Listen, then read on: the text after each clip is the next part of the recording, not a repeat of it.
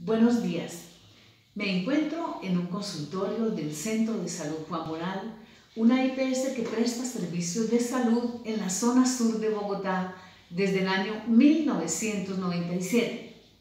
En este centro, día a día llegan personas de muy bajos recursos económicos solicitando servicios de salud, como medicina general, odontología, laboratorio, servicio de farmacia, toma de citologías, electrocardiogramas, entre otros. La comunidad que atendemos vive realidades de pobreza y marginación que son consecuencia del desempleo y el abandono por parte del Estado.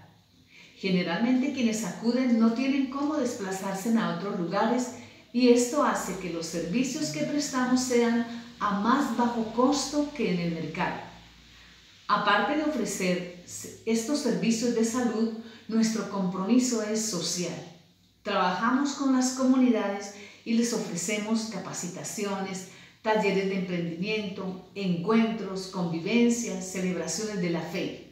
Además visitamos las familias, las acompañamos, las orientamos y les brindamos educación en temas de promoción y prevención de la salud. Actualmente acompañamos a 72 familias en el proyecto Tejiendo Comunidad y vemos la, necesidad de ampliar nuestro campo de acción, pero carecemos de recursos económicos para hacerlo.